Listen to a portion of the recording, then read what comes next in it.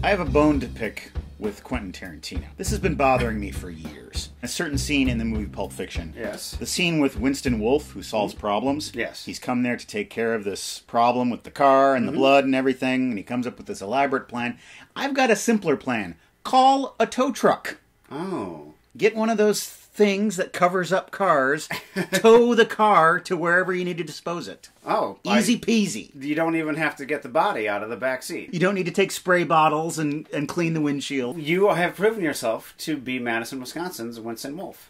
It's good coffee. I've got a bunch of movies that I've never seen before. You don't know what they are. Every episode, I'm going to spring one on you. It might be good, it might be bad. We'll watch it and talk about it. Welcome to the basement. It's still May, and that means we're still watching musicals. Today's movie needs no introduction. That is not a, a thing uh, there. Oh, I know. The movie's not in here, it's underneath your coffee cup. We're oh. watching The Apple. Oh, Matt! The apple!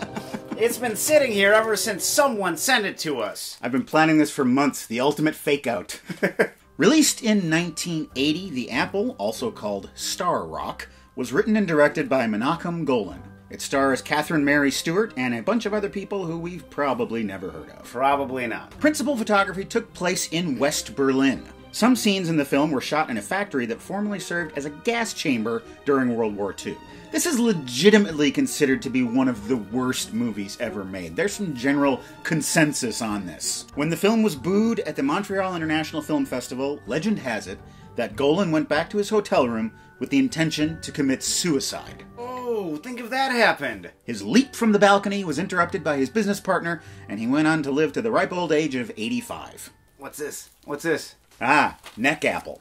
Yes. One of the big trends in musical making is to take a film that's not a musical and turn it into a stage musical. Little Shop of Horrors, The Lion King, The Producers, you name it. Your Gift is another one of those films, and it's a movie that contains a phrase that you're quite fond of. Oh, hold on.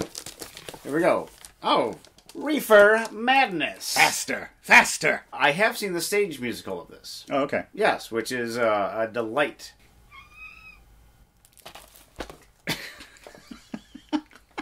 I'll watch this with my son. And it'll keep him off the pot. Stroll on down to the orchard that is the old leather couch where we are going to pluck ourselves a hopefully delicious treat known as the apple.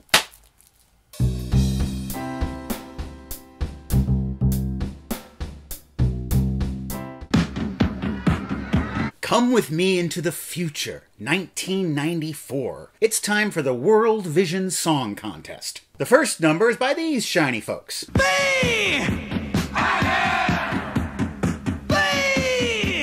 Aggressive. They're signed with BIM, Boogaloo International Music, the biggest record label on the planet. There ain't no good, there ain't no bad. There ain't no good, I think, is true. There's only power, is power. But listening to these two, I could be a singer. I say B. I say B. Achoo! There ain't no pride, there ain't no shame. Two more true statements. There's only power, beam is the power. Bin is the power. It's the mm-hmm. power of storage. Get a few bins. Bim. In the control room, Mr. Shake is looking at the uh, heart rate. No song could beat this and the heart rate and the pulse rate. Mr. Boogaloo watches over everything. I predict our BIM song is going to take this competition by storm. Our next number is a little folk duo. Alfie and Bibi. BB! That's what we call Cecil. That's one of his nicknames, BB. How dare this movie taint that? Boring. They do an acoustic ballad. That guy looks like Christian Bale with extra bones in his face. Which Bale would do for a show? Gain weight, lose weight, put more bones in his body. the crowd quickly becomes bored, but as they settle down and listen, they realize that they love it. What's the matter with you? I'm BB struck. No song could beat the Bim song, but here's a song beating the Bim song. Don't worry, boss. They'll never reach 150. 151. What? He sends his flunky, Mr. Shake, to uh, do a little bit of meddling. Meddling accomplished. They get booed off the stage. BB, out! There's a party at Mr. Boogaloo's place. To Bim! Bim! Alfie and BB show up. They're these rubes just in from, Moose jaw. A moose jaw. and everybody's kind of snickering at him. This is my star, Dandy. And this is my beautiful Pandy. And they get separated. This is the roof garden. Oh, it's so roofy. Speaking of which, this champagne is making me dizzy. Here, try one of these. What are they? Just little pills. They won't harm you. Just some pills. You're really from the sticks, aren't you? The jaw of the moose. And they start kissing, and everybody sees it. Dandy sings a little song to her. You're made for me, and I am your king. King? King. And she buys it. How do you do this to me? It's the pill. You took the pill. For no reason at all. They're going to get signed by Mr. Boogaloo. Boogaloo. They can't even spell Boogaloo right. Mr. Boogaloo is busy. Perhaps you can see Mr. Watusi or Mr. Hully Gully. They're in the waiting room where this is happening. It's like Fosse hands if you're having a seizure. Like a puppet on the string. He's singing, sitting on a bullet. We fight guy's not so bad. He's just a go getter. He's dressed for success.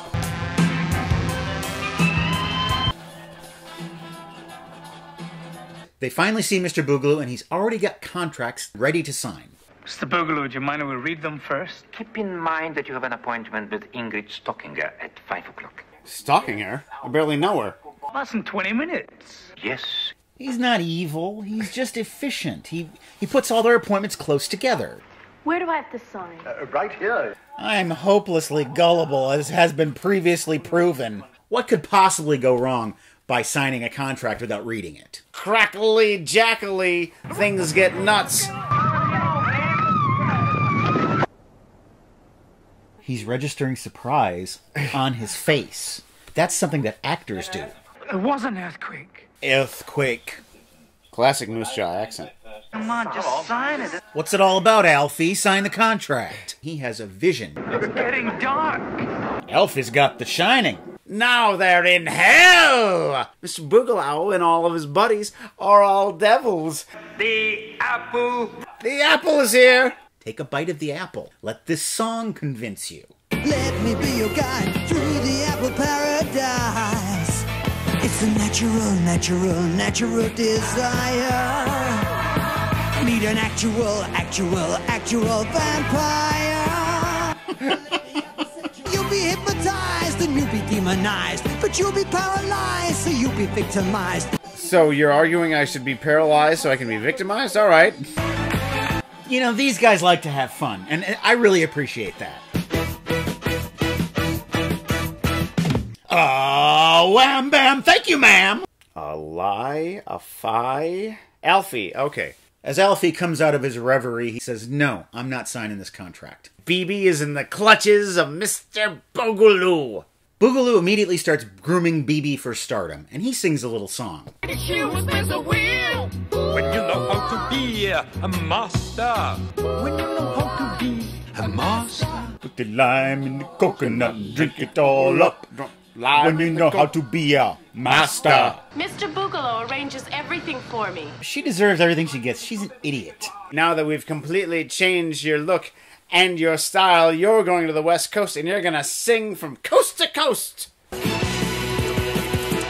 It's like Fosse hands after smoking a lot of crack. She sings a song about the thing America loves. Yeah, man, speed. There's just one thing we're all dying for. Speed. It's 1994, and I do believe that the movie Speed came out this year. Oh, Speed. Pumping power by the hour. crank! She's got the need. The need for going very fast. We meet this woman. She's a landlady, and she's a hoot. How can a man sleep so long? Alfie! Take some speed, you'll wake up. I've just written a new song. Yeah, I heard it. You kept me awake all night with that racket. One of his songs kept someone awake? I don't believe that for a second. It's gonna be great. As great as this double honk. His new song is a little ditty called Bim, bim, bim, bim. It makes every song go better. bim, bim, bim. Where has love gone? Uh, she signed on with the BIM Corporation and Mr. Boogaloo. Thank you very much. Could you put more BIM in it? it's four o'clock. You know what that means. BIM hour. Everyone, we're gonna party it down. Doesn't matter what you got going on, it's BIM hour. We have to do this for a solid hour. What? Margaret Atwood showed up. Under his eye! I feel like getting into this too. Matt, do it right. BIM's not evil. They're encouraging physical fitness and Yeah. exercise. They're not saying her name, they're grading her performance. It was a solid B. And Alfie sees her and he tries to talk to her, but he ends up getting beat up by her goons. Boo da boo da boo. Is he a vampire? An actual, actual, actual vampire? Alone in her penthouse, BB isn't really happy, and she sings that. Cry for me. Should I go on living No.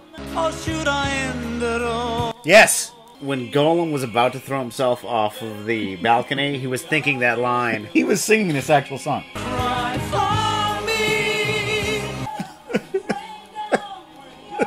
When will this song be over? Cry for me, Matt. Cry for me. Hearing the song from very far away, Argentina responds appropriately. I thought you were dead.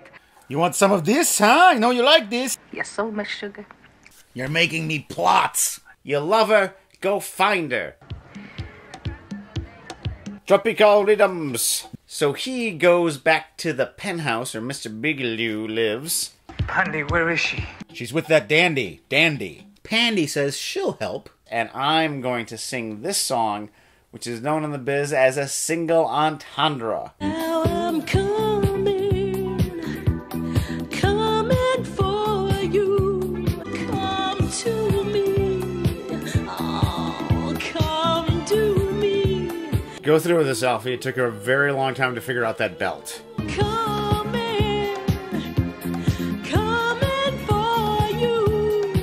He escapes her legs' clutches. Baby. Oh, where's Baby? My pants are all sticky. Gotta find Baby. Who are you? Baby. No, I'm BB. Who are you? Alfie is woken by a bum on a park bench. What's going on? Me and my hobbit friends were just going off to get rid of a ring. Come. Come. Come for me.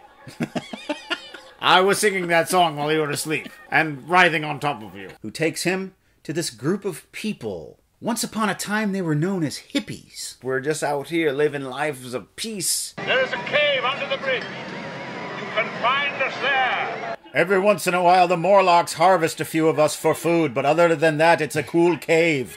Did you have fun last night? Eh. You dreamt that Alfie was here, didn't you? Yes. How did you know? There's no reason why I would know that. Go about your business today, Beebs. Biebs. She is the female Justin Bieber of 1994, and her fans are known as BB Liebers. Alfie loves you, BB. Was so in love with you that he couldn't take my sex. And Pandy sings. I'm full of feeling again. Because of Alfie's magical dick. Yeah. Over here. That guy's gonna sell her some quality oxy. Are you looking for someone?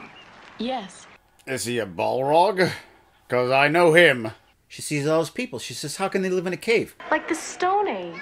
The Rolling Stone Age, man. I was at Altamont. I know. Pretty heavy night. Light my way, child of love. This guy gets a song? Child of love.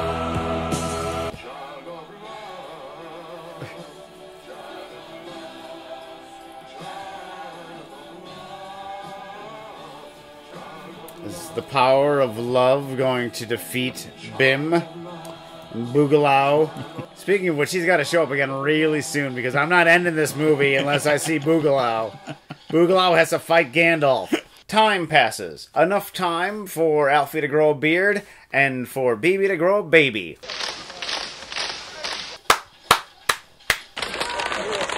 Oh no, we're being hassled by the pigs.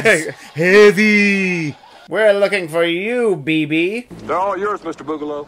Back to the other pronunciation. She owes him Ten million dollars.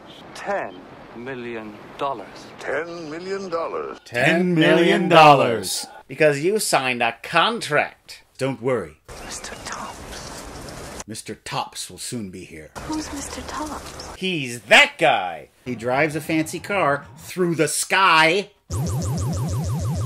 All right, I'm gonna say it. This movie has gotten ridiculous. They call me Mr. Tubbs. Is he God? Maybe. Everyone, come with me. And they all start marching up into the sky. this movie has really managed to surprise me. This ending is genuinely stupid. You can't start a world without me. Well, maybe this time I will. And this time there'll be peace and dandiness. But without Dandy. They do take Pandy, though. Bye, Mr. Tops. Bye, Apple. We've gotten to the core of the apple. That's right, seeds and all. I had a heck of a time watching it. It was a lot of fun. You know, there are bad movies that are, like, just not fun to watch. I don't Yeah. think Manos Hands of Fate is that fun to watch without having the assistance of Mystery Science Theater. Yeah, yeah. While this was a delight of badness, the musical numbers were so close to being well conceived. It really does seem as if a lot of the dance numbers are filmed early on in the rehearsal process of the dance. Once we actually have the dance down, it's going to be a pretty decent dance. I'm just making certain that I know where the arms go right now. Most of the choreography seems to just be the pointing of limbs. Very fist centric choreography going on here. The songs themselves are just so lame. There's a hundred things wrong with this movie. Yes. And I think the main problem is BB and Alfie. With a story like this, they have to anchor it in every way. Mm-hmm. Their relationship, their acting abilities, the audience caring about them. All three of those things are non existent. These two people are supposed to be the foundation of the movie, and they're just lighter than air. It doesn't help that we meet them just doing their first song and then immediately she signs a contract. Yeah. Possibly if we had just a little bit more, other than the fact that they're from Moose Jaw. They're the main characters of the movie, and we know almost nothing about them. The other problem with this, the reason that all those Montreal people booed it all those years ago, is of course expectation. We didn't have that problem. We Yeah. knew this was going to be a terrible movie, and so you can kind of see that there's some fun to be had. Yeah, you go to a film festival, you think that the movies would have been vetted enough. I think we should talk about Mr. Tops. We're all familiar with the term Deus Ex Machina here, right? God mm. from the machine. He literally shows up in a machine, and he's literally God. if they would have had some sort of foreshadowing that this might happen, maybe if that hippie was there earlier. And that this is the type of world where things like this happen. You can't just have cars coming down from the sky this late in the movie when No. you haven't established cars coming from the sky. And they could have established it because the devil was clearly in this movie. How did you like Vladek Sheybal as Mr. Borgalor? He seemed to be enjoying himself, and he seemed to have the ability to sell that character to the extent that he needed to. In the end of the movie, God literally abandons the earth. See you around, guys. I'm taking this small group of people. Everyone else stay under the oppressive dictatorship of Satan. Earlier, they said that there were billions of Americans. Yes. And he takes about 40 of them mm-hmm. off to his new planet. The landlady's left behind. Oh, yeah. Yeah. There should have been a little scene where she comes to the park and is like, wait for me. It's funny that the devil in this movie is called Boogaloo, considering that Cannon Films' greatest gift to the world was that they gave us the term electric boogaloo. Well, that's a character in Breakin' and Breakin' 2. Boogaloo Shrimp. I do have to say that one of my least favorite joke cliches is blank 2 electric boogaloo. It's Oh, like, yeah. So stop doing that, people. They won't. When you say publicly that something annoys you and that you wish people would stop doing it, they will constantly do it because fundamentally people want you to suffer for their amusement. 1994, the future. It's not what 1994 looked like for me. In the future, they'll all drive station wagons with weird configurations of lights. Well, 1994 musically was the height of the grunge era, so it was the exact opposite of the Apple. If there's one thing that the movie did right was filming in West Berlin. If you want to make something look like the not too distant future, West Berlin is your man. Every single location in this movie looked like a little version of hell. The Russians could invade any time. Let's not make anything pretty. Whoever made this, well, we know who made it. It's Golan. He obviously did like his Fellini. I think that's what he was going for. You line this up against Satyricon, and you see one thing working, one thing not. The Apple. We've consumed it. Matt, no! And now it's time for Seen It. Seen it. Our theme for Seen It, musicals, part two. Joseph Frazier says an older movie that I didn't love but enjoyed all the same was The Sound of Music. Seen it. So long, farewell, Auf Wiedersehen, Seen It. I saw this in college with a group of girls. Yeah. And I remember just being very bored by it. I saw it every single year when it played on TV. It played in our house. Did you like it? Yeah, I think it was the biggest box office musical of all time. So yeah, I was just swept away with it. Is the Nazi threat too heavy-handed in the movie, or do you think it strikes a balance? It's right where it should be. Okay. We know what's going on. Uh, when I was a kid, I'm like, oh, what's all this about? You know, this is intriguing. But I imagine coming into it later, I probably would be very, very bored by it, catching it in my 20s or whatever. Jennifer Madron, The Music Man, Seen It, or should I say, Shipoopi? That's what it's from. Shipoopi, Shipoopi, Shipoopi, the girl that's hard to get. Not seen it. You've seen every musical ever made, and you have not seen The Music Man. I had a crush on a woman in college that I called Marion the Lady Librarian, but I've never seen it.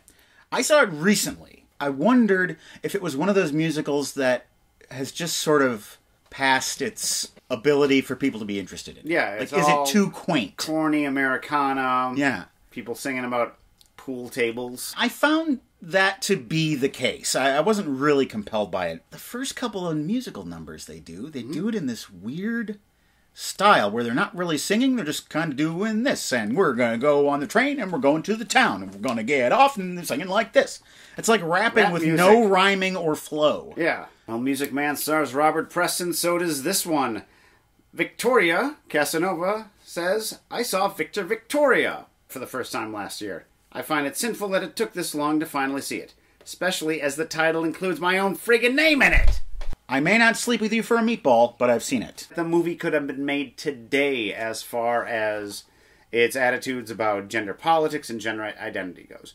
And it works so well. They make it seem so natural how it's discussed in the movie, while today it would all be, well, what a man is and what a woman is isn't always the same thing, and we're teaching you a lesson. While that was just like, it's just who we are, man. But I would have to say that the musical aspects of the movies I found kind of dull. Batsdom, you two should watch The Umbrellas of Cherbourg. It's a musical where the characters sing every word and it's heartbreaking.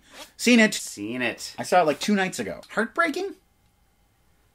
I don't want to give away the ending, but I didn't find it particularly heartbreaking. You say that, but the next time you hear that song, the main motif that goes through the movie, and you'll be like, "Oh, why am I sad right now? I don't know why." Or at least that's how it is with me. Whenever like that song pops up at the Oscars, I'm like, ah. "You know what I would have done if I was directing that movie? Last scene, no singing. Oh, yeah. Years yeah. have passed. The music is out of their life. We're just talking here. What I loved about this movie was the wallpaper. Every room had the most beautiful wallpaper you've ever seen. The wallpaper in her room, I could stare at it for hours. I love wallpaper. I know it's a pain in the ass. Bring back wallpaper. So we should take a trip to Cherbourg just to look in people's apartments, just look at the walls. You don't have to sign a contract of any sort to get to our website, welcome to thebasementshow.com. All of our episodes are there, all eight years of them, and there are PayPal donation buttons. You can click on those to help support this show if you so desire. Has anyone done this? You know they have. It'd be weird if you brought it up and there wasn't any. Thomas, who says, Can you please give a birthday shout out to my best friend John, who turns 25 on the 26th? Without him, I would not have seen this awesome channel. Hey! Happy birthday, John! To find out who the rest of our donors are and to see the contents of our mail crate, you can watch Unboxing, which comes out this coming Friday. We'll see you there. And now, take a look at this. You made for me. Craig, you're, you're kind of were made for me. Really? Yeah. Is it the pills talking, or is it actually you? Matt and I take lots of pills, just random ones we find.